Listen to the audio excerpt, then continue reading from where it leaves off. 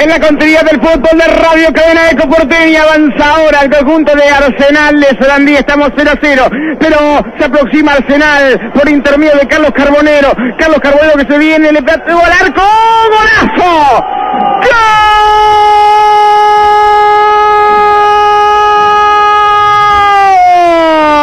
¡Gol! ¡De Arsenal!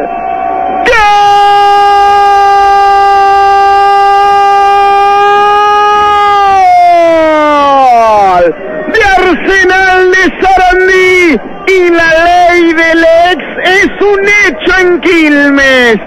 Carlos Carbonero el colombiano y lo gritó y de qué manera mientras se va y se abraza con Gustavo Alfaro, el técnico de Sarandí. Una jugada bárbara de Carlos Carbonero. Ahora pide disculpas, le pide perdón a toda la gente pincha rata que bailotó tanto que gambeteó a medio defensa de Estudiantes de La Plata. Dos cintas, un remate cruzado al poste izquierdo de Justo Villar para poner arriba Arsenal. Estudiantes 0, Arsenal de Sarandí 1, la firma del gol, el colombiano Carlos Carbonero. Exactamente a los 10 minutos. Fue eso tras un tiro libre de Gastón Fernández. Pero viene la gata, llegó el centro, golpe de cabeza, palo, llegó el remate, gol en contra de Liceo López. ¡Gol de Estudiantes! ¡Gol!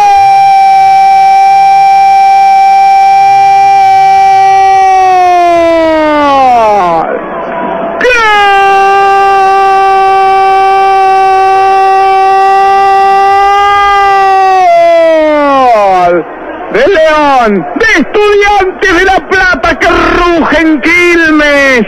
En esta tierra tan lejana pero cercana, al mismo tiempo un tiro libre de Gastón Fernández. Ella no quiso, le dijo que no. A Gastón Fernández primero el poste, después estaba Gelabar.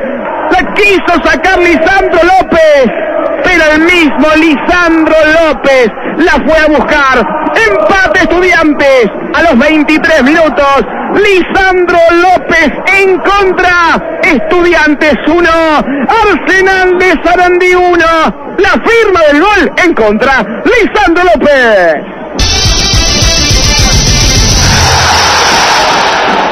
Iberbia para Gelaber, juega Gelaber para Re y Re para Braña atrás. Para Junque, aguantando está Arsenal. Veremos los dos púgiles de Arsenal de Estudiantes. Mejor el pinche, llegó el remate de la gata, le quedó el remate, gol. ¡Gol! Robo Martínez de Estudiantes, golazo. ¡Gol!